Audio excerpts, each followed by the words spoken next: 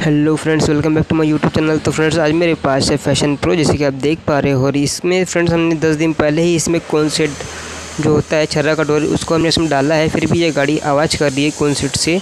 तो फ्रेंड्स इस वीडियो में हम जानेंगे कि ये आवाज़ क्यों कर रहा है। तो फ्रेंड्स क्या होता है कि जब हम कौन सा डालते हैं तो उसको दस दिन के बाद उसको सेट करना पड़ता है एक बार।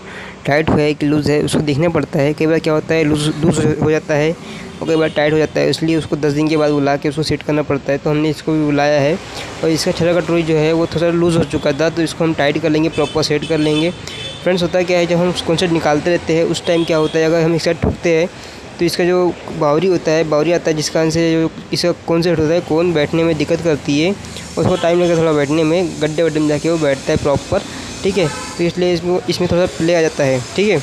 तो उसको हम प्लेयर को निकाल लेंगे, गाड़ी प्रॉपर हो जाएँगी, ठीक है फ्रेंड्स तो देखिए, हमने इसके पालने से इसको सेट कर लिया। अगर कौन सा सेट करना आपको आता नहीं तो वीडियो देख सकते हो आप। मेरे पास वीडियो अवेलेबल है।